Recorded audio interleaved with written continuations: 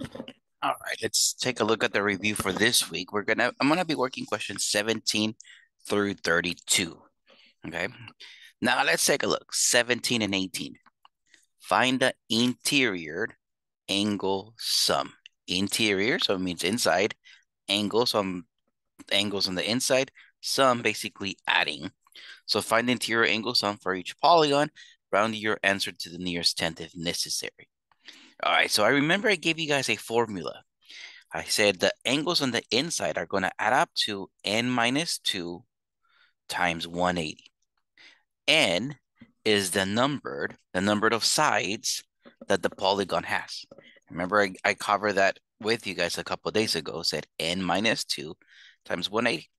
All right, so let's count the sides. Let's see how many sides question number 17 has. So I'm going to count the sides. So there's one, two, three, four, five, six, seven, and eight. I'm going to say n is equal to eight. All right, there's eight sides. This is an octagon. So for me to find out how much all of them add up to, I'm going to go six times 180. The six, because remember, n minus two. All right, there's eight sides, eight minus two. That's what the six is. So six times 180 happens to be 1,080. So all the angles on the inside add up to 1,080. All right, let's take a look at question number nine, uh, question number 18. So I want to see there's one, two, three, four, five, six, seven, eight, and nine. There's nine sides. So let me write n is equal to nine. So for me to find out how much all of the angles on the inside add up to, I'm gonna go seven times 180. The seven, because nine minus two, that gives me seven. So seven times 180, that happens to be 1,260. So all of the angles on the inside add up to 1,260. Now let's take a look at question number 19 and 20. Find a measure of one interior angle in each regular polygon. Now, regular polygon means all the angles and all the sides are equal. So all the angles have the same measurement. All the sides have the same measurement. That's what regular polygon means. But I need to find out how much is one angle. Okay, round your answer to the nearest tenth if necessary. So if I do get a decimal, round it to one decimal place. All right, so First of all, I would like to know how much all of the angles add up to. So I'm just gonna say, let's see, let me count how many sides there are. One, two, three, four, five, six, seven, and eight. So I'm just gonna write n is equal to eight. Now for me to find out how much all of the angles add up to, I'm gonna go six times 180. The six, because I went eight minus two. So 6 times 180 gives me 1,080. So this is how much all of the angles add up to. But here in my question, I'm asked, find only one of them. All right, not all of them, just one of them. So I know 1,080 is all of them. I'm going to divide it by 8. The reason why I divided by 8 because there's 8 of them. I counted the sides instead of counting the angles because it is easier to count a side than an angle, and it's the same number. Right? If you count eight sides, look at the angles. There's eight angles. So it's easier to count a, a side and an angle. All right, so now 1,080 divided by 8 gives me 135. So each of my angles is 135. All right, let's take a look at number 20. I'm gonna count the sides. One, two, three, four, five, six. There's six sides, so that means there's six angles. If I wanna know how much all of my angles add up to, I'm gonna go four times 180. The four, because I went six minus two, so four times 180. Four times 180, 720. So all of my angles add up to 720. I'm interested in just one of them. So let me divide this by six because there's six of them. 720 divided by six is 120. Following the same idea, we're going to be able to solve for x on questions 21 and 22. So looking at number 21, First of all, let me add everything. I know in addition, addition is basically I add, I combine all the like terms. So let me combine my x's first. 5 plus 3 plus 5 plus 8 plus 4. Right, I'm adding all of my x's, and that happens to be 25x. Then let me add those that don't have an x. So plus 2, so positive 2, plus 5, plus 10, plus 8, plus 15. That happens to be 40. I'm to write plus 40. So I'm adding everything, right? I combine all my like terms. Addition is basically combining like terms. And this is going to equal to, I need to know how much all of my angles add up to. There's five corners, right? There's five angles. I can count the side. There's five sides. So for me to know how much they all add up to, I'm going to go 3 times 180. There were five angles, right? 5 minus 2 gives me the 3. That's where the 3 comes from. So now I have 25x plus 40 is equal to 540. Let me separate them through the equal sign. I want the 25x by itself, so the plus 40. Let me move it over as a minus 40. So I have the 25x is equal to 500.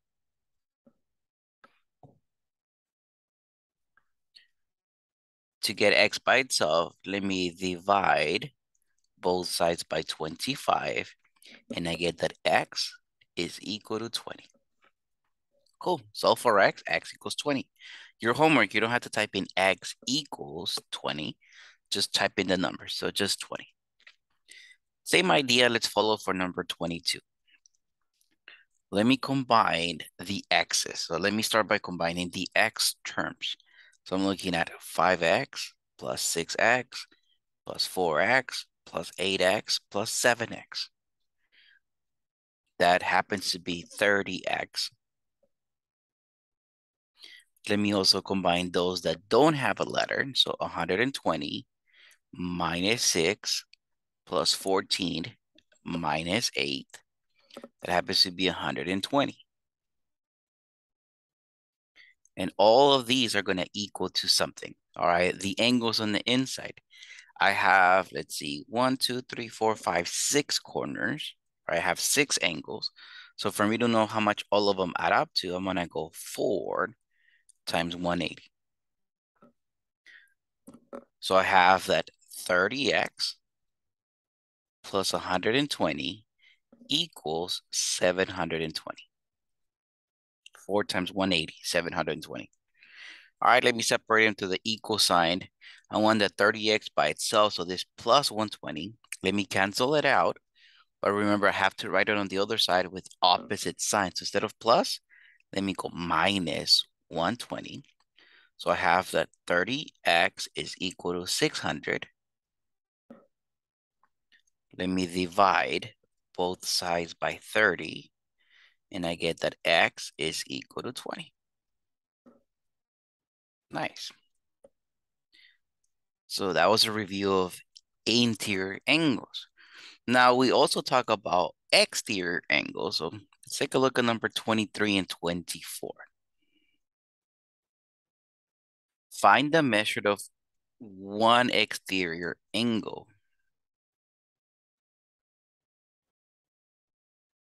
One exterior angle in each regular polygon. Round your answer to the nearest tenth if necessary. All right, so when we say exterior angles, imagine I have my sides and I extend each of my sides I want to only extend a few, but if I was to extend all of them, I'm talking about the angle created outside. Like I could, we could see all the way around, but that's the angle that I want us to find, the exterior angle.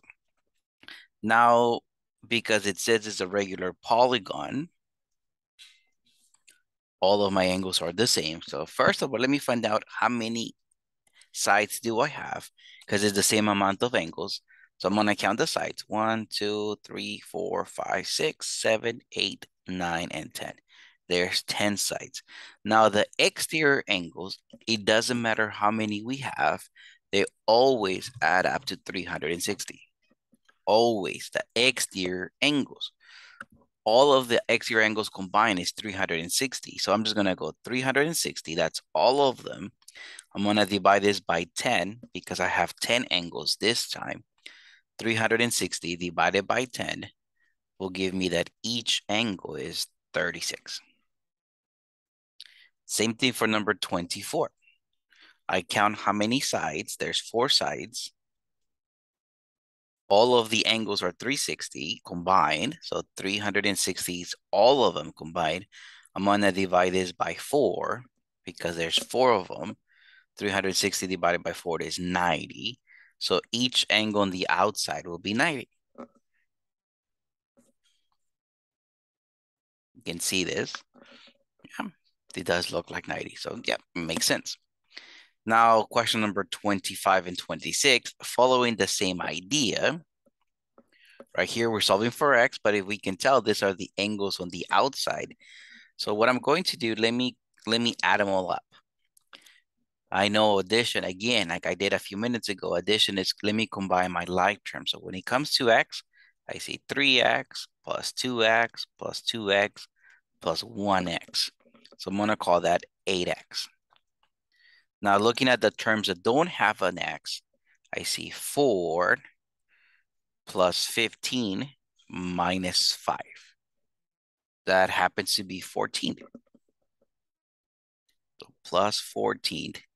And this is equal to something, right? So equals, we're dealing with the angles on the outside. And remember I said the angles on the outside, it doesn't matter how many we have. They always add up to 360. So there, 8x plus 14 equals 360. The rest is just algebra. Let me separate them through the equal sign. My plus 14, let me move it over as a minus 14. So I have 8x. Now 360 minus 14 is 346. To get the x by itself, let me divide by 8 and I get that X is equal to 43.25. Now I look at the instructions. The instructions just say solve for X.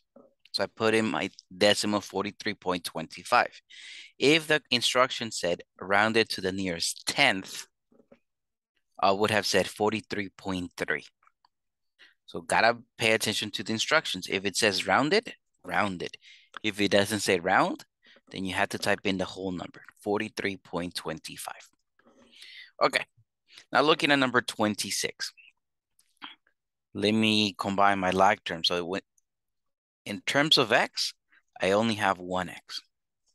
In terms of no x, I have 70 plus 60 plus 65 plus 40. That happens to be 235.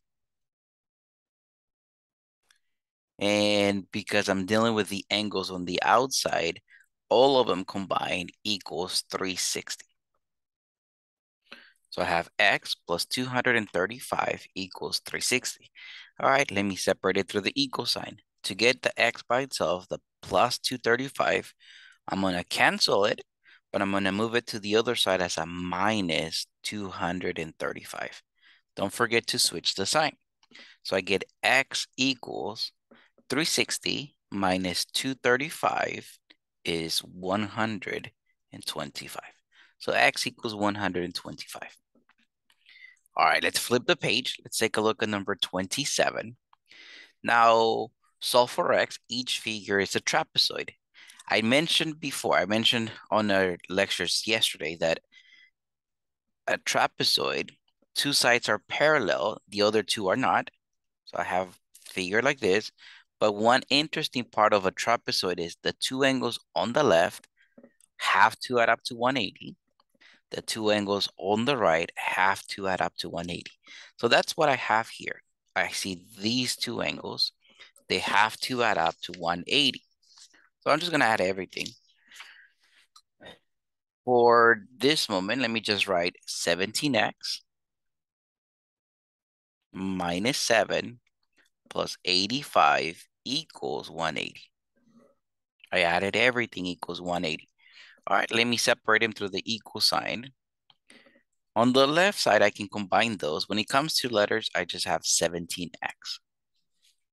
Now, negative 7 plus 85 happens to be 78.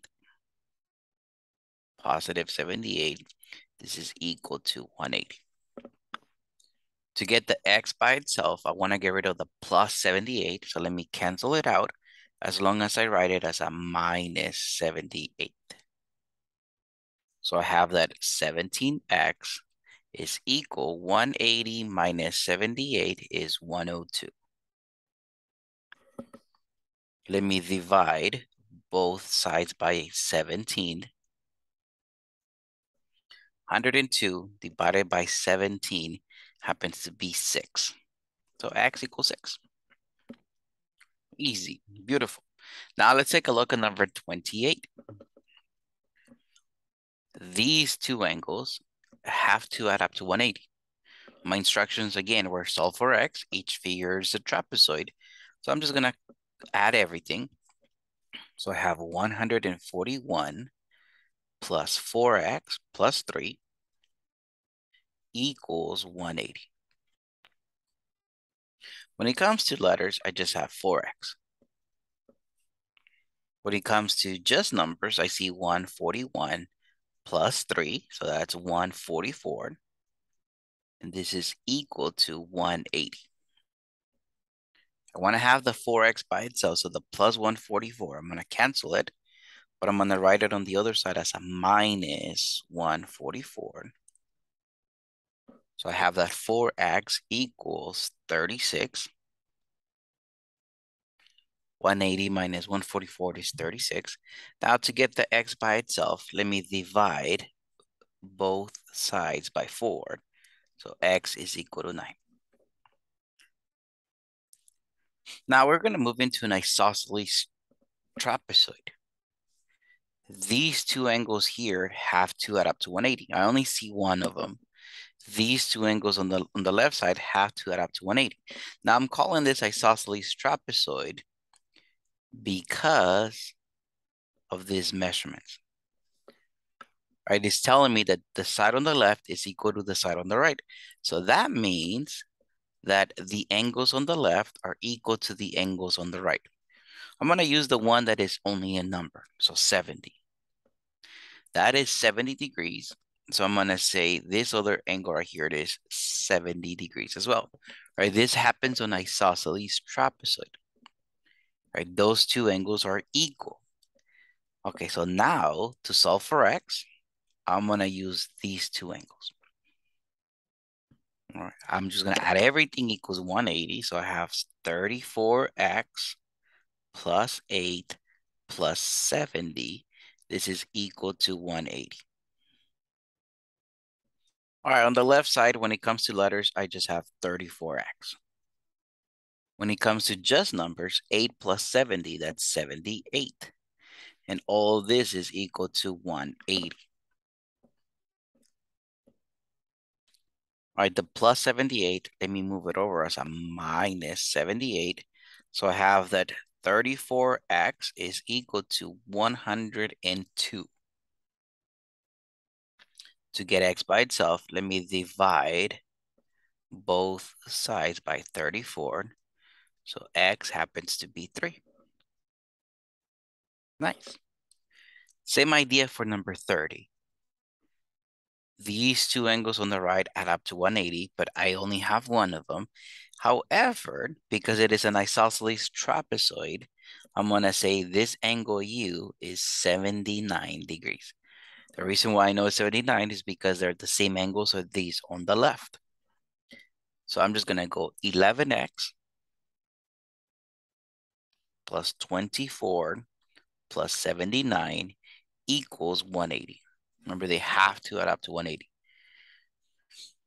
Okay, so on the left side, I'm going to separate them through the equal sign. When it comes to letters, I just have 11x. When it comes to numbers, 24 plus 79 happens to be 103. This is equal to 180. To get the 11x by itself, the one, plus 103, I'm going to bring it to the other side as a minus 103. So I get that 11x equals 77. 180 minus 103, 77. Now to get the x by itself, let me divide by 11 on both sides. So I get x is equal to 7. All right, my last two questions for today are going to be about kites. One interesting thing that I know about kites, if I stand it up, these two sides are equal, these bottom sides are equal, and I know these two angles are equal. Here I'm asking you guys to find, so solve for the indicated measurement, the following are kites. So I'm asking what's the measurement of angle Z? That's this angle. For right now, let me call it X. I don't know what is it. Interesting though is that I know this other angle, it's also X because it's the same thing. Okay, so now I'm I have all four angles of a kite. I'm just gonna add them all up. X plus X plus 81 plus 41 equals all right, so I have the angles on the inside. I remembered at the beginning of today's lecture, interior angle sum of a polygon. Right, in order for me to know how much they all add up to, I'm just going to write in the inside n is equal to 4 because there's four corners, there's four sides. So for me to know how much they all add up to, I'm going to go 2 times 180. All right, so let me separate this here. When it comes to letters on the left side, 1x plus 1x, it's 2x. 81 plus 41, that's 122. Plus 122, this is equal to 2 times 180 is 360.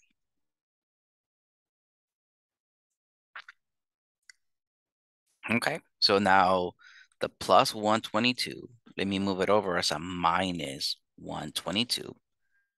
So I have that 2x equals 360 minus 122. It is equal to 238.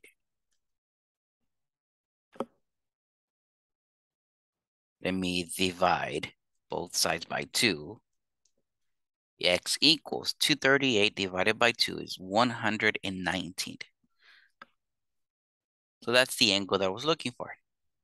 I know I called it X because I didn't know what it was, but now I know it's 119. Okay, let's take a look at question number 32. Same idea here. Okay, so I have the measurement of angle C is 84. So this is 84. The measurement of angle D is 116. Before I continue, I know F is 116 because those two angles are equal. Find the measurement of angle E. Okay, I don't know what angle E is, so let me call it X for right now. All right, so let me add everything. X plus 84 plus 116 plus 116, and all of this is going to equal to 2 times 180. All right, the left side, when it comes to letters, there's just one X. When it comes to numbers, I have 84 plus 116 plus 116. So that's 316.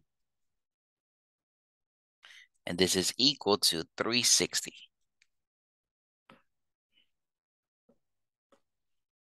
The plus 316, let me move it over as a minus 316. So x is equal to 360 minus 316 is 44. Some of your question might also deal with diagonals. Remember, we covered those. So if you need to go back and, and see my previous lecture, go for it. So this is what we did today, right there.